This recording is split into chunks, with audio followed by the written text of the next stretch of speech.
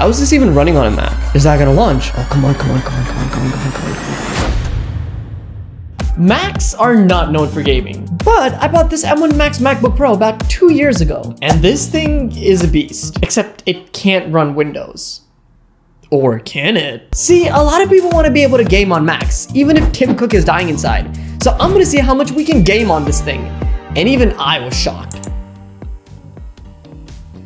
So let's go through the specs on this MacBook Pro. This is a late 2021 MacBook Pro with the M1 Max chip, the maxed out one, with about 32 gigs of shared memory. Now, looking at the benchmarks, this seems to be slightly more faster than an RTX 4070 laptop GPU. And looking at the raw teraflops, well, at 10.4 teraflops, it seems to be slightly more powerful than a PS5. Holy shit, this is it. Apple has redeemed itself for gaming. This is amazing. It's a gaming beast. Well, hold your horses. While yes, theoretically it is all these things, the main problem is the software. Or more, the lack of it. See, when it comes to native games on Mac, there's like two. More than likely, the game you want is not on Mac. But this is where emulation comes in. See, there are two ways of running Windows games on Mac. There's Parallels, which will run Windows 11 on your Mac, very useful, and there's Crossover, which is a compatibility layer between Windows and Mac nerd stuff. What matters is we have two ways of running games on Mac, so if one fails, we have the other. So let's get to it.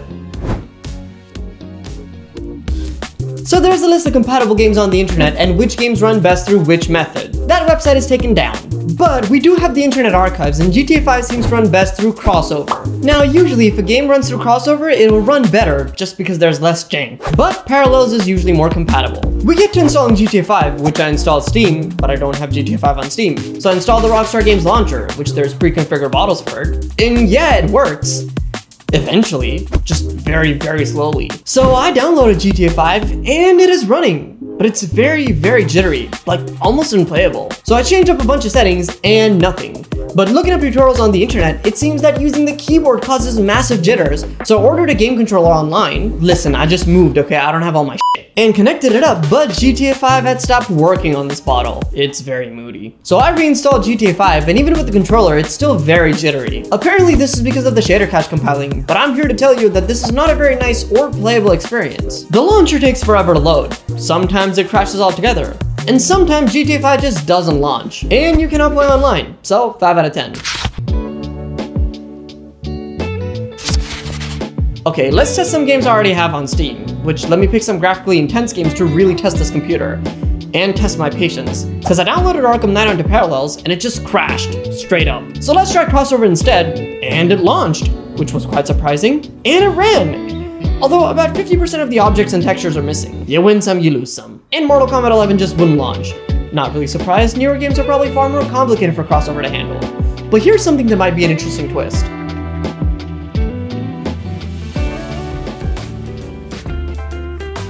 Well, apparently the Dolphin emulator is available on Mac. It is actually one of the most easy to use and reliable emulators I've ever used, and it works on Apple Silicon. So I downloaded it, and some ROMs, please don't ask me where I got them from, and voila! It runs almost perfectly, like I can't tell the difference. I ran Mario Kart Double Dash, which is one of my childhood favorites, Wind Waker, which is still a blast, and just for completion's sake, I ran Mario Kart Wii as well. This is where the game showed a few hiccups, but nothing unplayable. I'm also sure that you can connect Wiimotes and stuff like that to your Mac, because Dolphin supports that. It's just that I never owned a Wii, so I don't have remotes and stuff like that.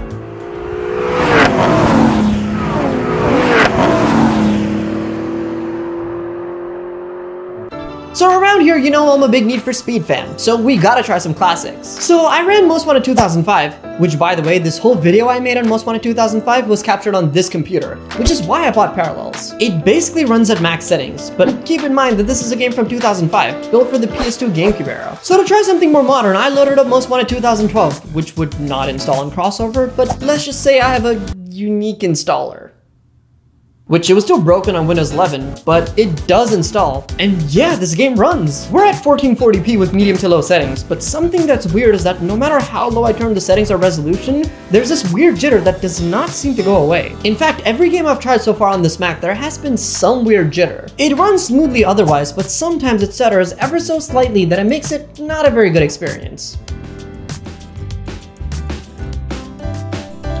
So since I have the Rockstar Games launcher, I forgot that I bought Red Dead 2 on PC as well, so I decided to give that a go, which is also a huge download. But after downloading it, I launched it, and it said Windows 7 is not really supported.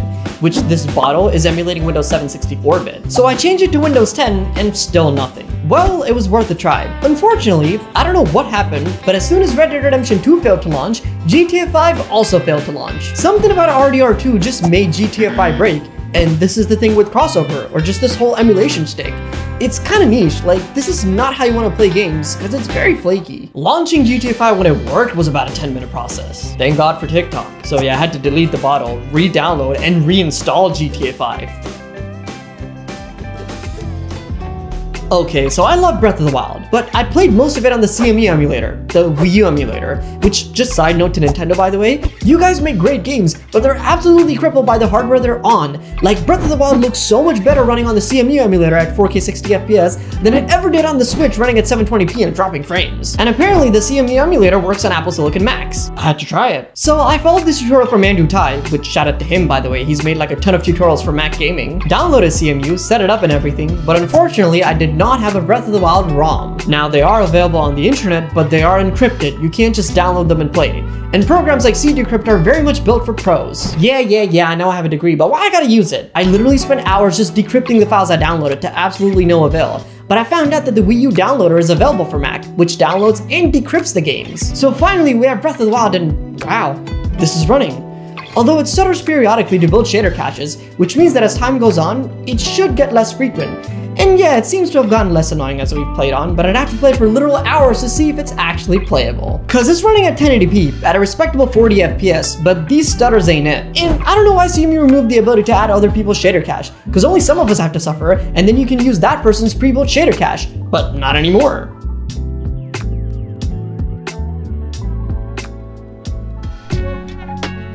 Okay, so we've tested a whole host of games from popular to niche to just whatever will work, and a few thoughts. Number one is stutters and jitters. This has been a problem on literally every game we tested, except for the GameCube titles. But come on, those are so old they'll run on fucking smartphones. I know it's just a shader cache loading, but how long do you have to keep playing before it becomes anywhere near playable? Number two is convenience. This is not for your average ordinary person trying to casually game in his free time. Like the amount of time it took for me to download builds from GitHub, download games, look up tutorials, and get every setting right, this takes hours. And I know if you've ran Cemu in Windows, you do have to look up tutorials. And you probably would have run into the same decryption issues I ran into.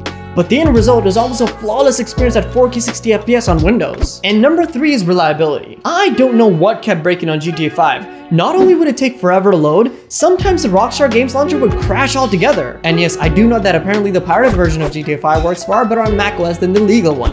But A, we do not condone piracy, and B, I already tried that, but only a specific repack made by a specific person works on a specific version of Crossover, which is not this one. What I'm saying is while there have been tremendous strides to get Windows and Windows applications running on Macs, and it is amazing the work done on Wine to get at least this level of compatibility, don't go into Macs thinking, yeah, I can do some light gaming on the side, cause you can't, especially online. That's completely off limits and it doesn't work. Apple has tried to make some strides with the game porting toolkit, which, surprise surprise, is based on crossover source code and Wine, and while people have seen some success running games on it, it's not really playable.